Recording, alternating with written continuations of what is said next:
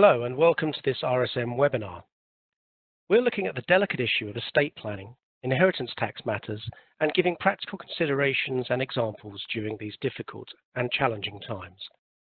The information being presented to you is correct as of April the 28th, and as more information and relevant guidance becomes available, it will be shared via the RSM Coronavirus Hub on our UK website. That's rsmuk.com.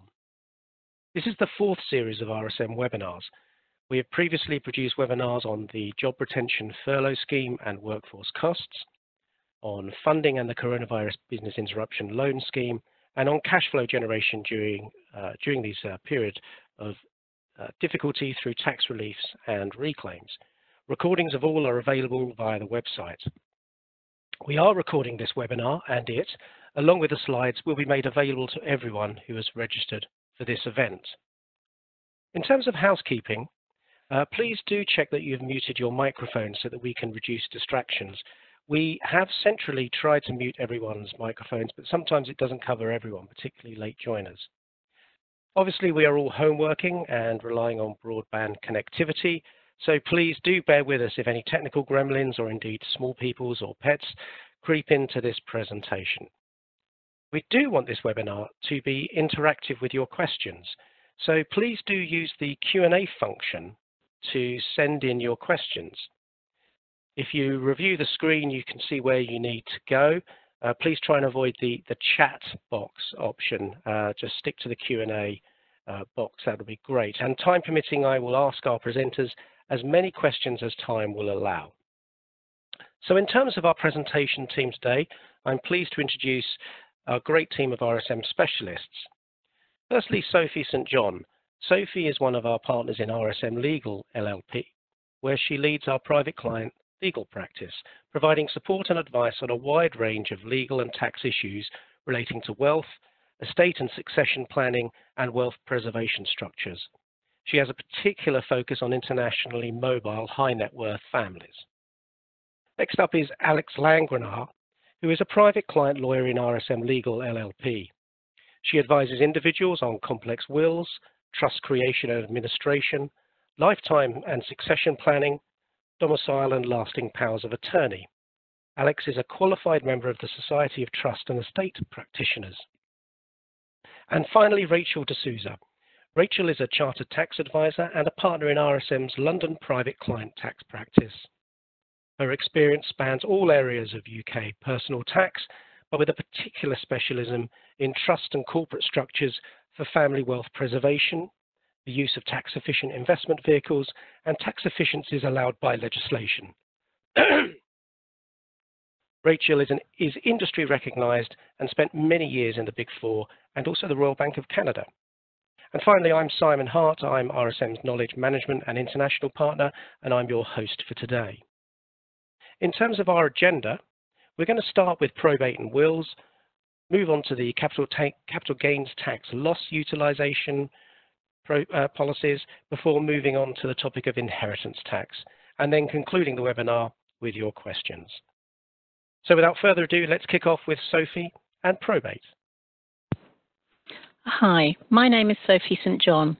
Thank you for attending today's webinar the aim of which is to provide some guidance and comfort from the perspective of personal affairs at what is such an unsettling and uncertain time for everybody. Most of us get caught up in our day to day lives, often taking for granted that we will eventually get to the more challenging items on our to do list.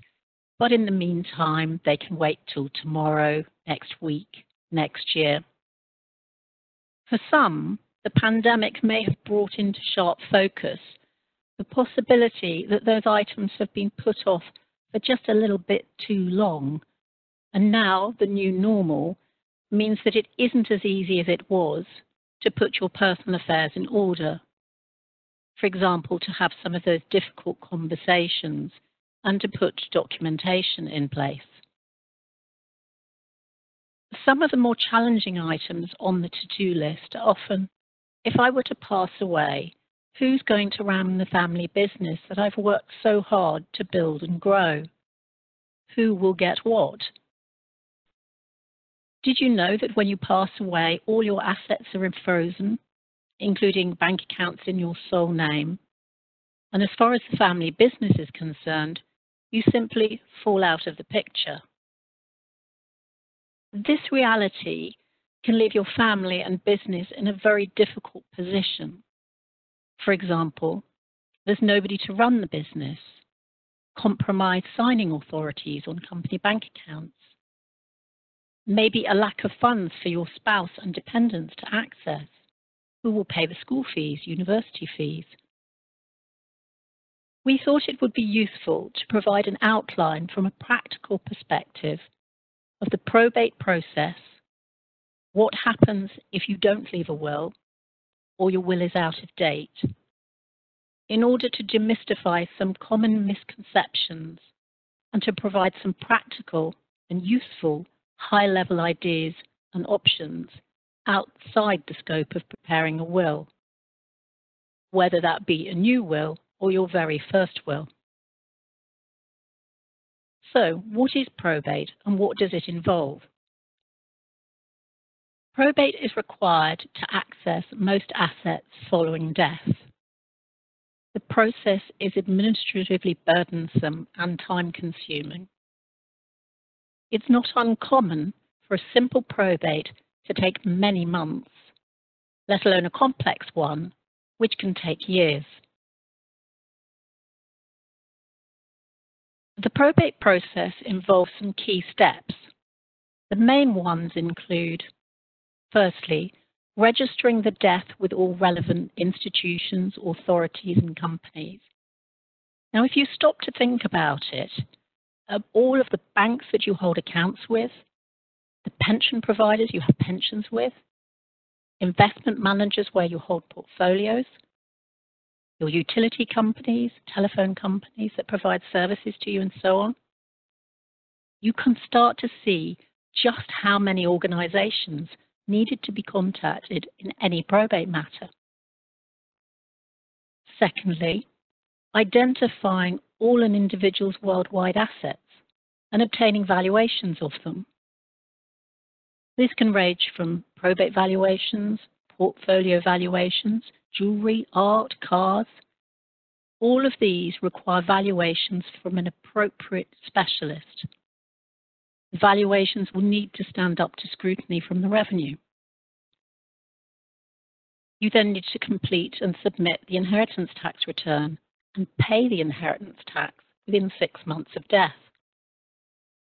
You will pay off debts such as the funeral costs, your income tax liability, inheritance tax, mortgage on properties. Only once the probate registry has evidence that the inheritance tax has been paid by way of a receipt can a grant be applied for. And only once the probate registry has issued the grant can assets of the estate be collected in. And finally, only once the grant has been issued can the estates and assets be distributed in accordance with a will, or in the absence of a will, the intestacy rules. During this whole period, there is a lack of access to funds except for one purpose paying some liabilities, and these are very limited. So it's things like the IHT and funeral expenses. Depending on the value of a person's estate, their family circumstances and asset profile, the availability of cash to pay inheritance tax can be a problem. Some assets, some estates rather, simply do not have the cash to pay the tax because while the estate is valuable, it's tied up in things like bricks and mortar, shares, the family business, which cannot be sold or cannot be sold easily, or the timing of a sale can be challenging. For example, a portfolio value has decreased and it's showing no signs of rebounding. Some estates have to bridge the gap by borrowing from banks to fund the inheritance tax. Given all of this, you can begin to see why the process takes so long and how it can cause significant issues for the surviving family. Meanwhile, running alongside is the question did the deceased have a will or not? And if there was a will, was it an English will or a will created in another country? If there's no will, the intestacy rules apply. It's really unlikely that these wills will provide as the deceased would have chosen, especially in the context of succession of the family business and protection of children and grandchildren. The intestacy rules are complicated and they have to be applied to the specific facts of the case. If we use a simple scenario by way of example, whether deceased leaves a spouse or civil partner and two surviving children, the net estate, so after all tax and liabilities have been paid, would broadly speaking be distributed as follows. The spouse would receive all the personal chattels and a cash legacy of £270,000, and the balance of the estate would be split into two equal shares. The first share would pass to the spouse, and the second share would pass to the children in equal shares as and when they reach the age of 18. This, of course, begs the question would this leave your spouse with enough? Would you want your children to inherit at 18? Often the answer to those questions is no. And the issue can become even more complicated where you have blended families. I will now pass over to my colleague Alex, who will talk about wills and lockdown. Thank you, Sophie. Hi everyone, Alex here. If you have a will, you're likely to be in a better position because you will have gone through the thought process of what you want to achieve from the perspective of providing for your nearest and dearest, the most tax efficient way of doing so while protecting those close to you, and the best way for the family business to continue to thrive. The family business may be something which passes outside the will because you planned it and passed the business down during your lifetime. Things can sometimes not go to plan, especially if the will in question is outdated and has not been reviewed regularly. With that in mind, it's worth thinking about the following. When you made your last will, when you last reviewed it, as a result of changes in your personal circumstances, so things like births, marriages, deaths, divorces, etc., and or to ensure that it still reflects your wishes. Finally, you might wish to check whether it needs updating generally. Now, what I've just said may have caused you to think, oops, I don't have a will, I should make one. Or I have a will, but I can't remember where it is. You might then manage to track it down and realize how long it's been since you did it and that it might be out of date. Nothing is ever simple, is it? So the English requirements relating to valid will execution date back to 1837. Clearly, the world has moved on since then, but the rules remain unchanged. So what's required? You must sign and date the will in the presence of two independent witnesses, who then, in your and one another's presence, witness by signing their names and providing their details. So this is full, their full name, address, and occupation. During lockdown and social distancing, it is exceptionally difficult for someone to execute a will and comply with these requirements. Whilst this issue has been brought to the Ministry of Justice's attention, it's understood that government ministers are still reviewing whether to change the law and, if so, which options put before Parliament might be selected. While we wait in the hope that rules might be relaxed temporarily during COVID 19, we have come up with some practical solutions for you. For example, the person making the will with their two witnesses could congregate around a car bonnet with the will secured to the windscreen by a windscreen wiper they could meet in a park, execute the will, perhaps by a park bench, or two witnesses watch the testator sign the will through a window. The will is then posted to them via the letterbox, which they witness with the testator watching and post the will back through the letterbox. These can all be done whilst remaining two metres apart, wearing gloves and using different pens. If the practicalities of a new will are just too much, there are other things you can think about from a practical perspective. Firstly, is the family home in your sole name? Do you perhaps want to transfer it into joint names with your spouse or civil partner now?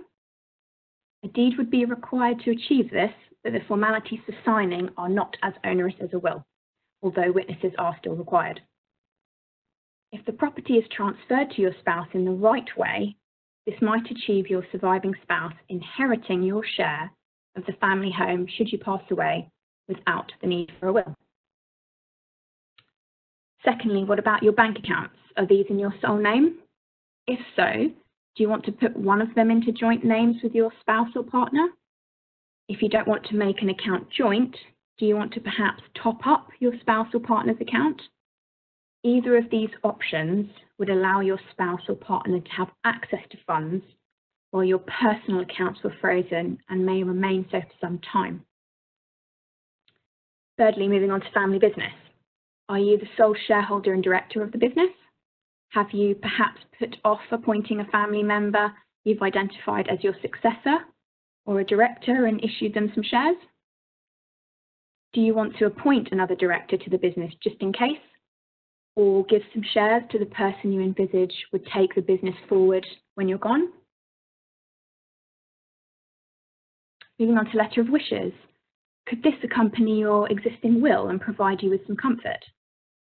Letters of wishes are not legally binding, but you would expect the individuals who administer your estate to give them weight and apply them where they could.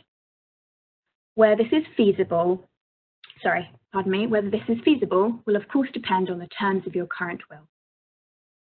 Similarly, if you don't have a will, you would hope that those benefiting under the intestacy rules might be persuaded to follow your wishes to the extent that they could do so.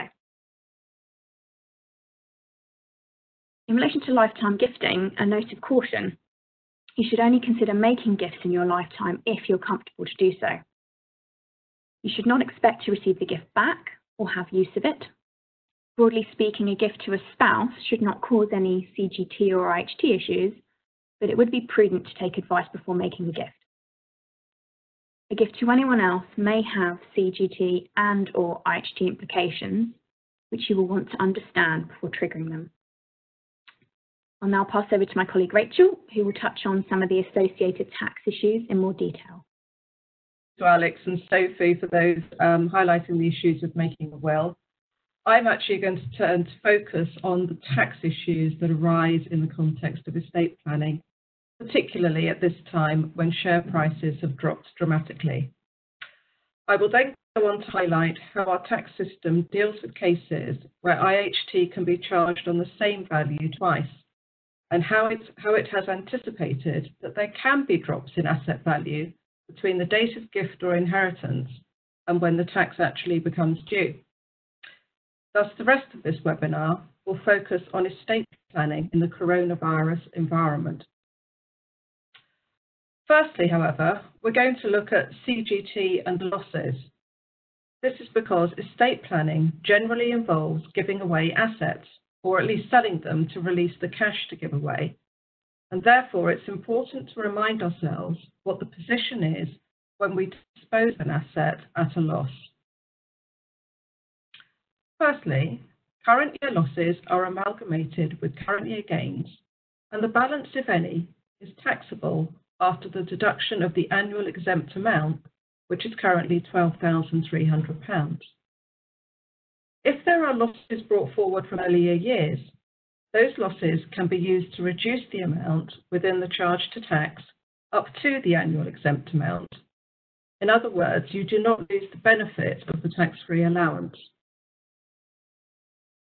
CGT losses on unquoted shares can be used in the same way as I have just described. Alternatively, they can be set off against current year or prior year's income, or both. Obviously, this is more valuable if you are paying income tax at 40% or 45%, as relief is given at those higher tax rates. However, this income tax relief is only available for disposals of shares in qualifying trading companies, and this includes enterprise investment schemes, venture capital trusts, and AIM quoted shares. Now, you may remember that in 2013, a limit was introduced to restrict the amount of loss relief that could be claimed by an individual each year. Relief was limited to the greater of £50,000 and 25% of income.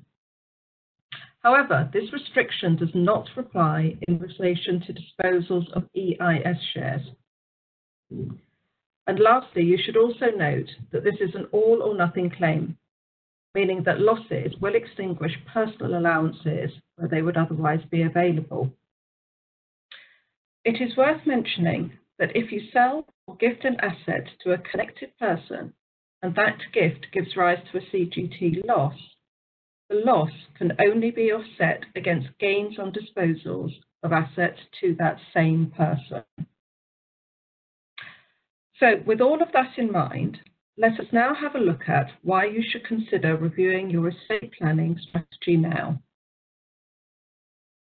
As a quick reminder, IHT arises on your death by valuing your estate, deducting the available nil rate band, which is currently £325,000, and taxing the balance at 40%. Effective estate planning therefore involves reducing the value of your estate by the time of your death so that you cannot benefit from the assets that you have disposed of. This is why lifetime gifts of assets are so popular. Making a gift to an individual does not create an immediate inheritance tax charge. Instead, it starts a seven-year clock, and these gifts are known as potentially exempt transfers, PETs. In other words, as long as you survive for a period of seven years from the date of the gift, the value of that gift falls outside your inheritance tax estate entirely. Even if you do not survive the full seven years, taper relief will apply to reduce the IHT payable on your death as long as you have survived for at least three years. Therefore, even before the coronavirus era, gifting was a sensible strategy to pursue in respect of IHT mitigation. When talking to individuals about making gifts, an objection which is often raised is that there will be a CGT charge on disposing of the asset which will either form the gift or from which the cash will be derived to make the gift. This is, of course, perfectly understandable, as no one likes to pay tax on gains where they have not actually received any cash on disposal. However, in the coronavirus era, it is very possible that the assets will have fallen in value. And of course, in this context, we know that share values in particular have fallen dramatically in recent weeks. Individuals may therefore wish to consider gifting share portfolios or other assets whilst the value is low, and little or no capital gains tax will be payable. Just as an aside, you may wish to sell portfolios on the open market and give the cash instead, but this very much depends on your personal circumstances. As already mentioned, the gift starts a seven-year clock.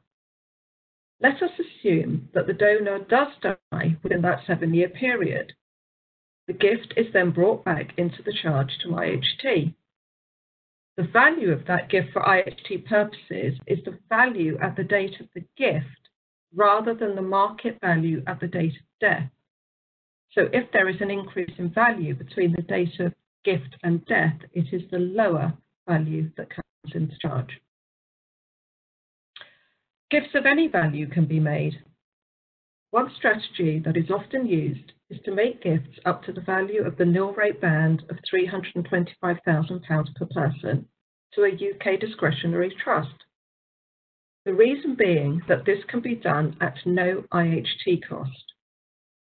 Indeed, if husband and wife make joint gifts, £650,000 can be gifted in this way. Discretionary trusts are popular as they provide an element of control as the beneficiary cannot spend the money directly, However, care is required. Gifts made in excess of the nil rate band carry a lifetime inheritance tax charge at 20%. For larger values, donors may consider gifts using a family or personal investment company. This is another way in which wealth could be passed down the generations without the donor losing control over how that wealth is utilised. In this case, the larger values don't carry lifetime IHT charge, rather they would be considered as PETs. Individuals should also consider taking out life insurance as a simple and often cost-effective way of mitigating any IHT charge that may become due. This is a strategy which provides for a cash sum to pay the IHT rather than seeking to reduce the IHT bill itself by giving away assets during lifetime. Lastly, of course, everyone should keep their estate planning strategy under regular review. As we have seen, circumstances can change dramatically and very quickly, and this will impact each person's future planning. Before we finish, I'm just going to touch on some little known but valuable IHT reliefs that exist. Quick succession relief does what it says on the tin. It is designed to reduce the tax payable when the same property has been subject to more than one charge to IHT. It is important to note that quick succession relief does not apply where either transfer was either wholly exempt, for example, if there was a transfer between spouses, or it is chargeable but within the nil rate band, so no actual IHT was paid. So in other words, for quick succession relief to apply, inheritance tax must have been payable on both the transfers under consideration. We've provided a little example here, um, but what I wanted to highlight is how the formula works. So the reduction that is allowed is, is given by the formula A over B times C times D. And what this formula does is apply the estate rate of tax on the earlier transfer, which is the A over B part, to the net increase in the second estate to find the amount of tax on the later transfer, which is attributable to the increase, and then the percentage reduction is applied. So in this particular case, we end up with the position in Sam's estate where his chargeable amount is £730, and in the absence of quick succession relief, tax would be due of £292,000. However, as he died within three years um, of receiving the earlier gift, in this case, he's entitled to £118,260 IHT quick succession relief, thereby significantly reducing the IHT due on his own estate. On the next slide, we're just going to have a brief look at sale of shares relief, which you know may be very pertinent given where we are now. And this is allowable. It's designed to take the account where shares have dropped in value between the date of death and the following 12 months. There are various conditions which have to be met, but broadly, it's we're talking about a sale of the investments within 12 months of death by the executors. In the example given here, we will see that in this estate, shares have been sold one producing a gain and two producing a loss. You have to amalgamate all the gains and losses to reach the net loss figure, which in this case is £5,000. IHT relief is only given on the net loss, not on the gross loss. And lastly, there's a similar relief available in respect of lifetime gifts where the value of the gift has fallen between the date of the gift and the date when the donor died when it is brought within the charge to IHT, as long as that property is still owned at that time. So in summary, consider gifting now whilst asset values are low, but do watch your CGT position. Where death has already occurred, check whether any of these loss in value reliefs apply.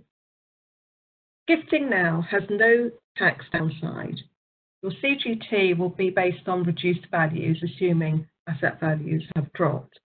And IHT will fall away entirely if you still survive for the seven years, or will be based on the currently depressed values. Thank you. Thank you, Rachel. Okay, let's uh, let's move on to some questions now.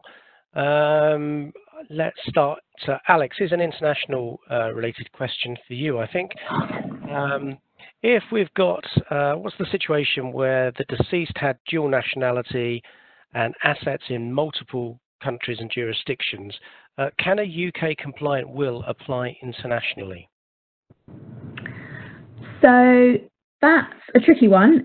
Um, it depends really. There are lots of people who just have one will. Uh, so we have lots of clients who have assets in different countries and they choose to make a global will. Um, what you've got to remember is that different jurisdictions have their own laws and rules. So what I would say is it really depends which other country you're a dual citizen of, um, what assets you have in other countries, um, and we would assess sort of your fact pattern. And then we would say to you, okay, you've got a villa in Spain or Italy. Um, let's look to carve that out separately and have that dealt with under the um, Italian jurisdiction or have a Spanish will, for example, um, rather than have a UK try to cover everything. Um, so it's really just assessing, I think, what your fact pattern is, and then we can um, take it from there. I'm a dual national myself, so I completely appreciate that it can be quite a nightmare sometimes to um, organise everything so that it ties up nicely. Oh, thank you, Alex. Uh, here's a situation. Um, what would be the tax implications? So, Rachel, I think this one's for you. What would be the tax implications between two cohabiting partners if the uh, principal private residence is put into joint names from a previously sole name? Um, so, if we've, we've got cohabiting persons, then they're treated as a civil partners, obviously, or, or a married couple, and therefore the um, the principal private residence, the value of that would be split between the two of them from an inheritance tax perspective. All right. So if one of, go on, go ahead. I was going to say, so if one of them were to die, half of the value comes within their estate for inheritance tax purposes, um, again, Sophie or Alex would have to would have to comment on the legal uh, matters with regard to um, who then whether the, the, the half the property transfers to the other to the other cohabiting partner. Yeah, uh, Sophie, do you want to touch on that? Because there's a, there's a there's a related question about an unmarried couple cohabiting for for a number of years. Uh, does the intestacy rules apply in that case? Uh, well, taking the, the latter one first, um, intestacy rules do not recognize cohabiting couples at all. Um, that doesn't mean that there might not be another route for the cohabitee who survives to pursue a claim in another way, but they wouldn't naturally receive under anything under the intestacy rules.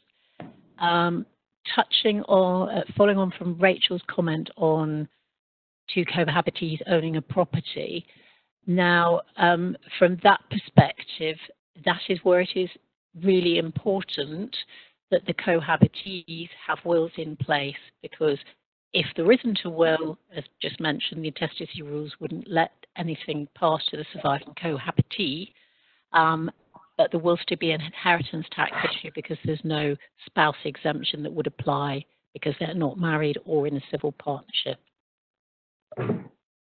Okay, I think I've got that. And whilst I've got you, Sophie, here's a, here's a supplementary. Um, you, you, mentioned uh, in your presentation about accounts being frozen, bank accounts mm -hmm. being frozen. Uh, what, what happens to, for instance, life policy payments? Where do they go um, uh, to well, provide cash policy, liquidity? Life policy payments should fall outside the individual's estate if they have been set up properly. So ordinarily, a life policy is accompanied by a declaration of trust, which will say to whom the policy proceeds would go um, when they pay out. So the question that I think has been asked on the Q&A, it may be that that provides liquidity to address the inheritance tax. it is a process that is often followed with that in mind. But obviously, if those policy proceeds pass to um, a child, there's no guarantee that the child would necessarily um, make the cash available to do that. But they do provide liquidity outside the estate, so they would But not they be are- frozen. Right, they're outside of the estate. Fine. Okay. Just a practical point on that, I wanted to add about the life policy. What you would need to do is check with the provider what their requirements are to release funds. So some of them might just want a death certificate for the deceased, and others might insist on a grant of probate. So your best approach is just to contact them directly and find out exactly what they need. Okay. Um, tax-free cash from pensions. Uh, can they be gifted ex- exempt from IHT? So is, it- is it is it is it a, is it a gift from normal or is it a gift from normal income? Right. Sorry, I can't quite see that question on the screen, but the, the normal rule with um, with UK, so register from registered pension schemes, is that if the um, primary, if the member dies before the age of 75, and it doesn't matter whether the pension has started or not, then the whole value, remaining value in that pension scheme um, is passed to the heirs, both income tax free and IHT free. Um, and the general rule is, of course, that any value within pension plans is not within the person's IHT estate. Okay, thank you, Rachel. Uh, slightly technical one here. Um, someone died March 2019. IHT was paid in October 2019. Not all of the funds were sold within 12 months due to a, a- a legal error with probate. Can the 12-month rule be extended for the funds that will now be sold, uh, also at a loss? Um, again, no, the, the, the legislation is very clear. The um, share sales have to take place within 12 months of the date of death. So in that particular case, if the sales are occurring after 12 months, that loss in value relief for the sale of shares won't apply. Okay, thank you, Rachel. Um, capital gains tax related now, so I think that's still with you, Rachel. Am I right Yeah. in thinking that CGT gains need to be paid in year now rather than the following January? Oh, what a great question. Um, the change that has occurred is for CGT gains on the sale of uh, residential real estate. That now now needs to be paid within 30 days of the sale, and in most cases, a separate CGT return needs to be submitted within that 30-day period. For all other gains, the 31 January um, uh, uh, 31 January date remains. Thank you very much. Uh, slight international question here. Uh, what might be the impact uh, if the UK is not able to keep its position in the international legal fold, uh, resulting in British law not being recognised uh, due to Brexit? Um, I'm Oh, I think that's one for Sophie. Yeah, I Yeah. think that's one for, for Alex and I. Well, I mean, I think that all remains to be seen, unfortunately, um, until such time as our exit um, from the EU and laws are um, put in place. Where at the moment, for example, we rely on European laws and we then have to implement them here. I think it's very much a case of watch this space with Brexit, unfortunately. Okay, Sophie, that was a good good dodge there and a great question, Michael. We nearly caught them out. um, here we go. What's the most tax efficient way of gifting money to my children? Uh, there are three of them. They aren't taxpayers at the moment. In order to buy a property. Uh, well, are they? The question is, are they already adults? Um, if they're already adults, i.e., over the age of 18, then of course you can just gift them the cash, which is the simplest and easiest way because from your perspective, if you've got the cash, there's no asset to dispose of, um, and it will just simply start the seven-year clock, and then it's up to the children of course, use that money in the way that you wish them to use it, i.e., to buy the property. And it's often it's that that um, a distinction between gifting them the cash and are the children going to use the money in the way that you want them to use it. Which leads parents to looking at different solutions which are slightly more complex, such as whether a discretionary trust is worthwhile or, or whether these family or personal investment companies are worthwhile. But generally, they probably wouldn't be if they're looking to buy um, a house in which the children are going to live in. Thank you, Rachel. Sophie, here's one for you. Uh, if a joint bank account owner dies, does this mean that the account is frozen with regard to the surviving person. I'm assuming that means in uh, without a will. Where you've got a joint bank account, it should pass to the surviving individual, hence the reference that we made during the um, presentation to the idea of if all, for example, your bank accounts are currently in your sole name, that there is an advantage to having them in a joint name to get round that issue. Thanks very much, Sophie. Yes, that's a good one to know, and it's actually very topical. Here's another topical question relating to asset protection trusts. Are they any good to protect assets from care home fees? Uh, and what are the tax consequences of having such a trust? Uh, and indeed, how do you get the assets out of the trust at a later date? I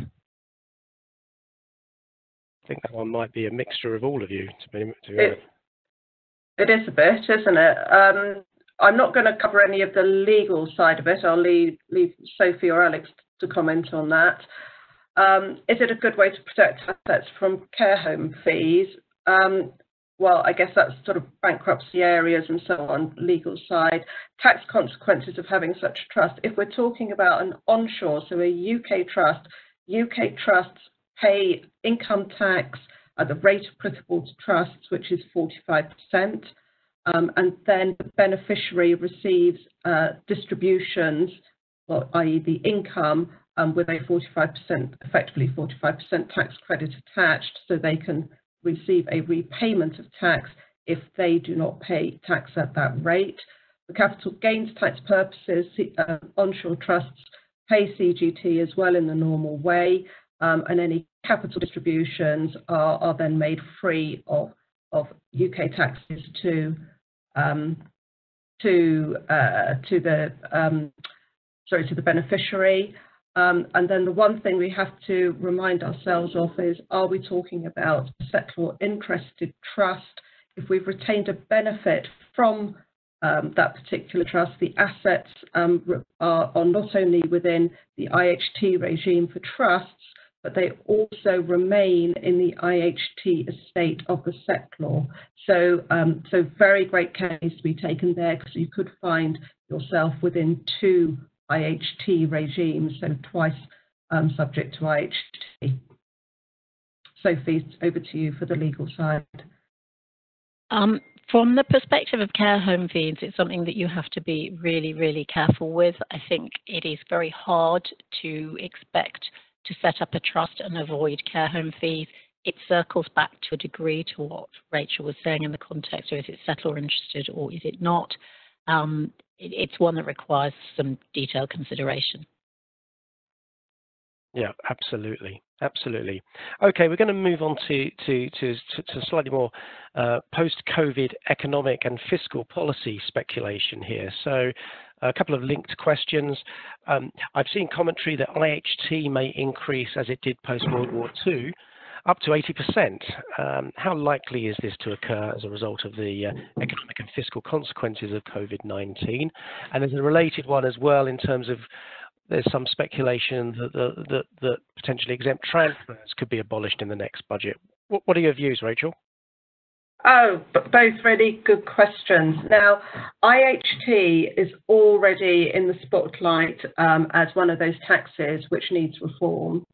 And indeed, both the Office of Tax Simplification and I forget the name of the other board um, have made um, quite detailed recommendations as to some changes that could occur within the existing framework of, of the inheritance tax law. What, um, what we haven't looked at yet is whether IHT remains fit for purpose. Um, so within the context of what we know, there has been no suggestion that the rate of IHT of 40% will change. Um, clearly, I think as, as, a general comment, um, everybody, um, every, sort of all professional commentators believe that taxes will need to rise following um, all the intervention that the government has undertaken um, in regard to coronavirus. Um, of course, as of yet, nobody knows how that's going to be achieved. In the context of PETs, um, the Office of Tax Simplification um, suggested that um, the, the, PET regime is changed. So at the moment we have this seven-year period, which, which I've talked about, and we have taper relief applying after three years. Um, the proposal is that the PETs will go to a five-year period. So once you've survived for a period of five years, the gift will fall out of the um, inheritance tax account, but there will be no taper relief at all. So it, it will, it's the, the change is designed to make that PET regime simpler for everyone to understand. Um, tax and simplification, there's a contradiction in terms. But what, you're absolutely right, Rachel, is that is that post this crisis, in terms of the amount of borrowing that's had to be going on at a governmental level, we're going to see some type of, of changes, upward changes in in in uh, in tax rates and and and anything to do with IHT is, is is less of a political hot potato than some of the other taxes. Okay, here's a here's a question I think for you, Sophie. Um, if a deceased was a sole director of a 100% owned company, can the executor appoint a director to that company? And similarly, if a deceased was a member of an LLP, can the executor, him or herself, assume the powers of the deceased as an LLP member? that's less likely to be governed by the position of the executors or anything to do with the will. When it comes to directors, you'd probably be looking at your articles of association for the company itself, which is more likely to govern how the company will be operating. And the same is true of uh, an LLP, its constitution and what it provides for. Yeah, that's a good point. Actually, it depends on the LLP agreement many, in many respects. Um, a CGT question next. Uh, Rachel, stand by. Uh, what's the effect from a CGT perspective of a sale of an overseas property by a UK domiciled person? Um, it's no different to any other asset. Um, you will um, value the asset at obviously at the, date of sale. You have to value it in sterling terms. Um, so that is considered to be your sale proceeds. You deduct the cost of the asset, again, converted to sterling at the exchange rate at the date of purchase so that you calculate your gross gain in sterling terms. Whatever the gain is forms part of your capital gains for the year. You deduct your annual exempt amount um, if you if you have an annual exempt amount available, and you pay tax at oh I'm going to say it's 20% rather than 28% um, but that might just need to be confirmed. All right. Um, whilst we're on that topic uh, of, of tax and IHT, here's here's one more for you, Rachel. What are the what are the main tax and IHT considerations in transferring shares in an owner-managed, owner-founded UK-registered company with a joint spouse ownership to one of the children? Um, Okay, so we've got an owner managed business here. So it's very likely if this is a trading business, um, business property reliefs will apply.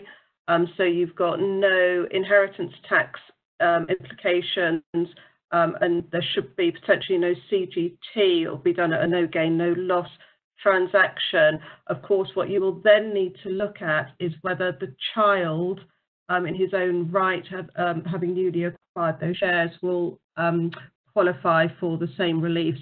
So it's it's it's a lot more of a um, rather than the pure tax implications.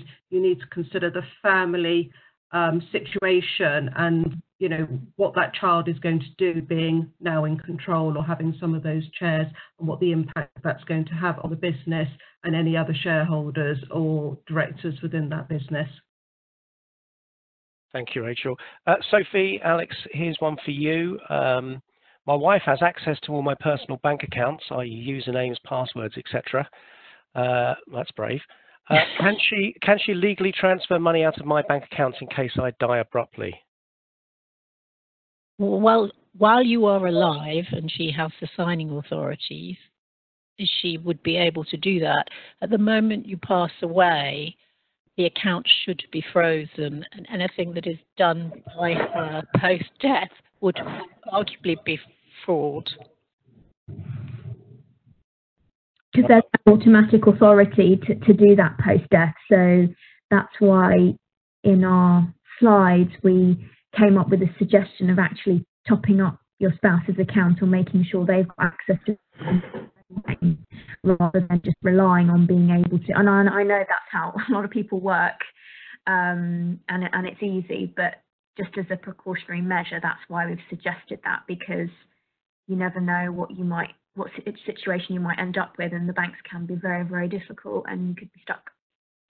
So I suppose linked to that kind of unexpected aspect, you know, what's what's the pros and cons of popping to WH Smith or, or another uh, uh similar uh, retailer and, and, getting one of these off-the-shelf uh, wills? You know, do they cover probate, for instance? Um, a will, any will, is potentially better than nothing. Um, I have to admit that the experiences I have had um, with people doing the WH Smith versions is that, that they are far from ideal. Um, it is much better to get some professional advice rather than do it yourself.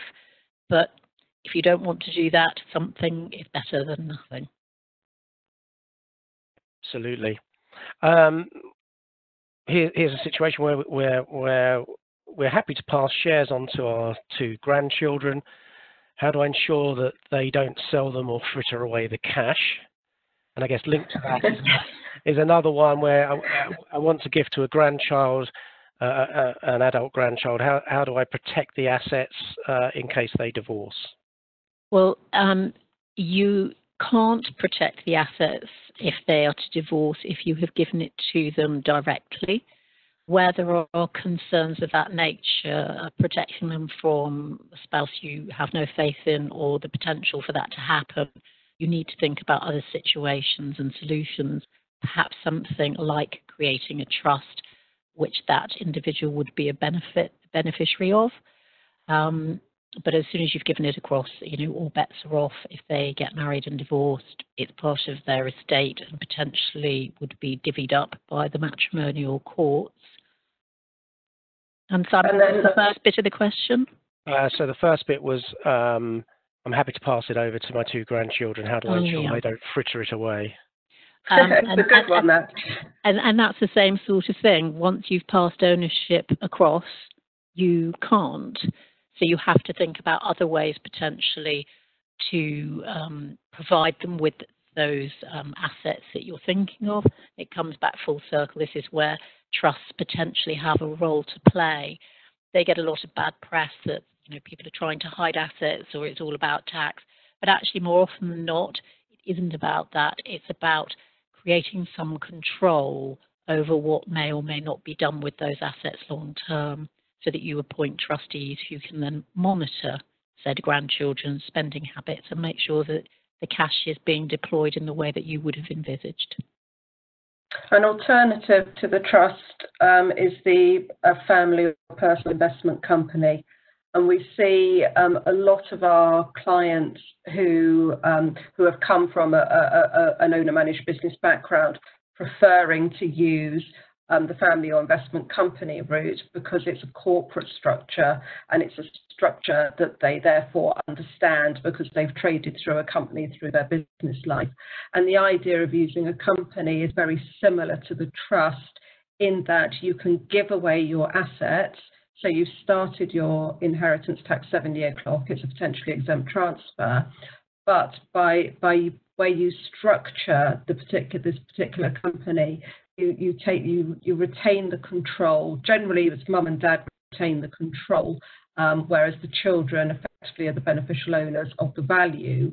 Um, and in this way, they ca- the children cannot then just sell the shares um, and take the money out and spend it on whatever it is they like because it's mum and dad who are effectively the directors of the company and have to approve any any distributions or indeed how the, how the value is actually invested. So that's often an alternative solution, which, um, as I say, which especially owner-managed businesses um, prefer to use rather than the trust. So very much dependent on individual circumstances as to what's the best result.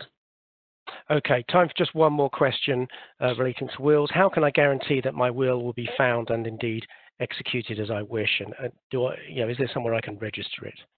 Um, that that is one we always recommend that clients, once they've done a will, tell their executors where they are storing it so that they will know where to find it.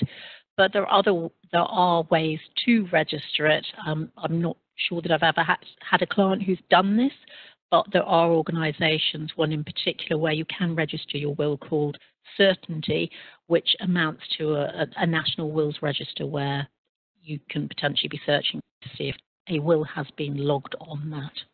Yes, and just, and just a supplementary, just a, a question just popped in relating to to um, uh, Alzheimer's and dementia related, and mm-hmm. the and the, and the onset of, of, or the increase in that. I mean, we'll, we'll talk about um, lasting powers of attorney. I assume that that seems that's a very topical and sensible thing to be doing when it, it when is a, very, a will. Absolutely, and it's often something that we will mention to a client when they come in to talk about wills and estate planning, whether they've also given some thought to lasting powers of attorney. They are certainly worth doing. Um, as the person who asked the question raised, you know, how how is anybody that um, your children going to help you operate once you've lost capacity to run your personal affairs? So appointing your children or whomever you trust, because these these powers are quite powerful um, is certainly uh, a very good idea. And let's face it, if everybody keeps their marbles, they are never going to be used anyway. It's a, a bit of an insurance policy of sorts. Oh, thank you. Okay, so if you could just move the slide uh, deck on one, um, yep. I'd just like to say if you've got any specific or further questions, please pop an email through to the COVID-19 inquiries at rsmuk.com and we'll do our very best to try and uh, point you in the right direction. And again, if you want any further information on the whole topic, as well as the wider coronavirus issues, please go to the Coronavirus Hub on the address there. And finally, just to make sure that we're sending you as much specific information as you need, please go to the RSM UK website and fill out your preferences so that we can make sure we're sending you exactly what you need. So that concludes our webinar for this afternoon. Thank you very much uh, for your attention. And on behalf of the presentation team and indeed all of RSM, we wish you and your families the best of luck, best of health, and we look forward to actually seeing you, hopefully very soon. Thank you.